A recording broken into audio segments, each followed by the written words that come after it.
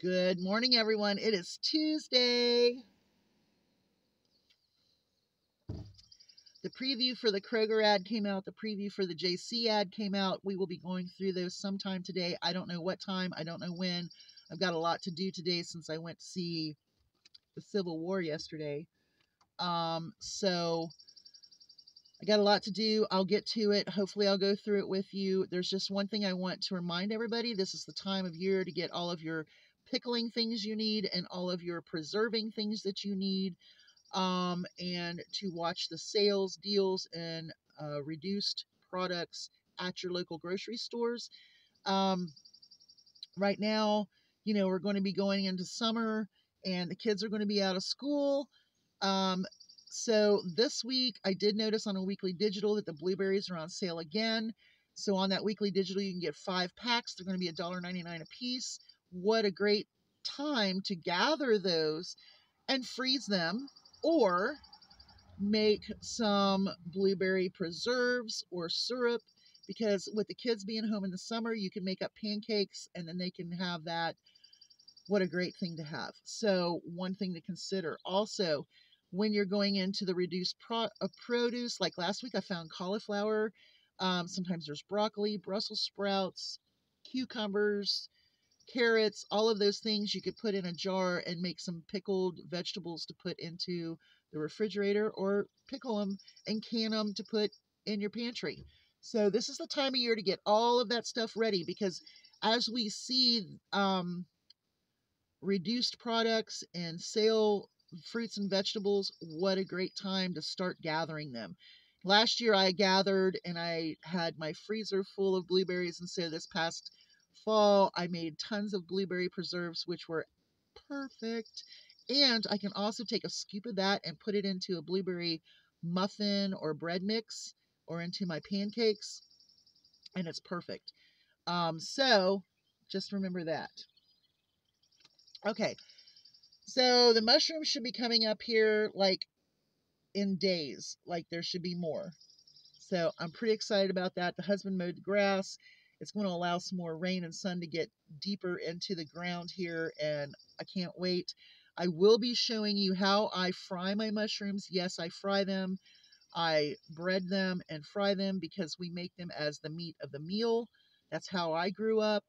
Um, a gal I used to hunt with, the only person in this area when I moved out here that would go mushroom hunting with me, she did the saute thing with her mushrooms. Um, but she would also come up and eat my fried mushrooms. So, you know, it's a matter of taking the time to do it or being health conscious. Um, my thing is, this is a once a year kind of event. And if I get a mess of mushrooms, I'm going to fry them up. It's going to be the meat of the meal, and we're going to enjoy them to their absolute. So there you go. That's what's coming up, and I will show you how I do it if I get enough. I mean, if I don't, I, I don't. So that's kind of like nature's call there, right? Okay.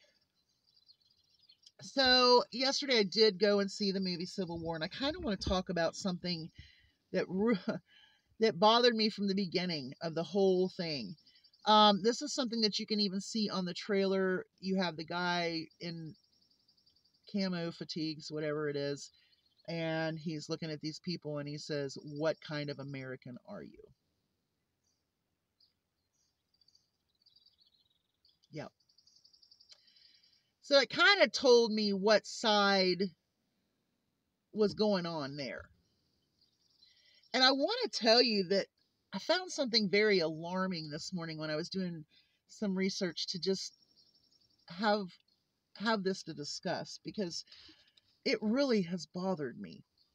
It really, really bothers me. But I'm going to read you this first. This is the definition of a hate group a social group that advocates and practices hatred, hostility, or violence towards members of a race, ethnicity, nation, religion, gender, gender identity, sexual orientation, and or other sector of society. That's a lot. If you practice just one of those things, in a group. That makes you a hate group. So I thought, okay, so let's look up some hate groups. I mean, we all know the Ku Klux Klan. We all know some of the white um, Nazi part uh, groups. We we know those kind of groups, okay? We know that there's also groups that are from another side or this side or that side. But something that startled me was the fact that in this long list of hate groups were churches.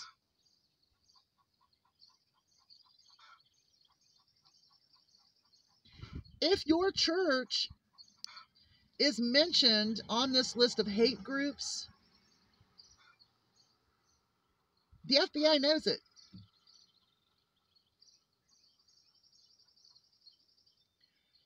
So, I would not belong to a church that was considered a hate group. I would not belong in any group that was a hate group by any means. I can't imagine it. Someone asked me, What kind of American are you? I would be like,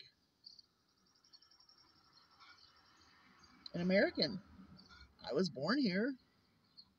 My mommy's from Kentucky. My daddy's side is from Kentucky. Now, my grandma on my dad's side said that she had Apache and Gypsy in her. That's what kind of American I am. I am not an American full of hate. I am not an American who judges others by any of the things that I mentioned.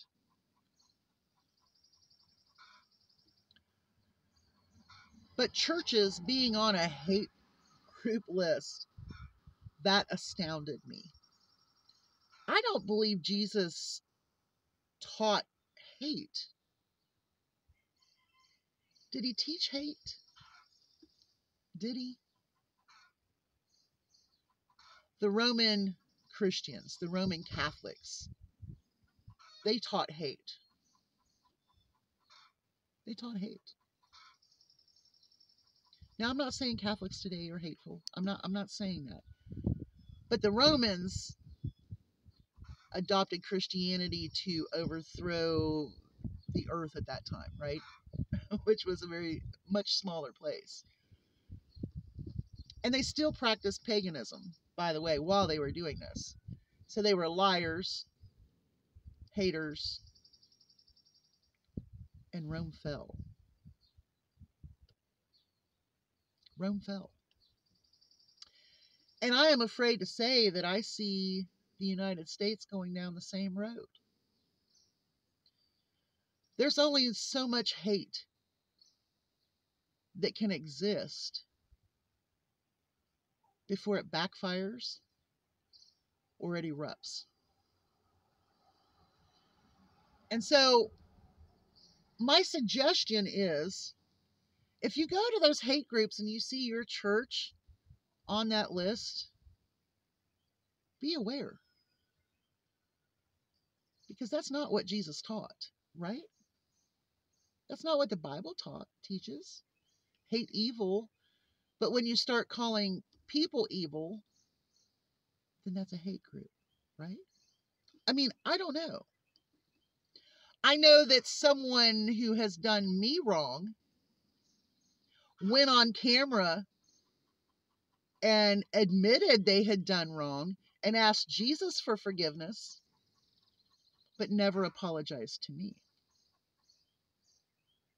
So it doesn't count, right? I'm just asking. Hate groups.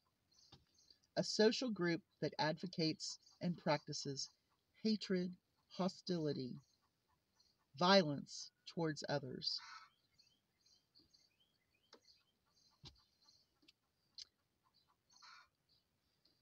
It's there. I think hate is a wasted emotion. It's harder to love than to hate. loving people is harder to do because of preconceived ideas, our raising, our culture, and our church, right? According to this, there are a lot of churches on that hate group. I'm just saying, I don't believe that's what Jesus taught. And I believe that if you do someone wrong, you should apologize to them. Not just ask God for forgiveness. You'll have a great day. Hugs from a distance. Hopefully, we'll have some good videos today. Because I'm not going anywhere. And I'm not going to go sit in a theater by myself and smell my dirty feet. I swear. So funny. I didn't change my shoes. Um, and while sitting in the theater, I could smell my shoes. I'm just saying.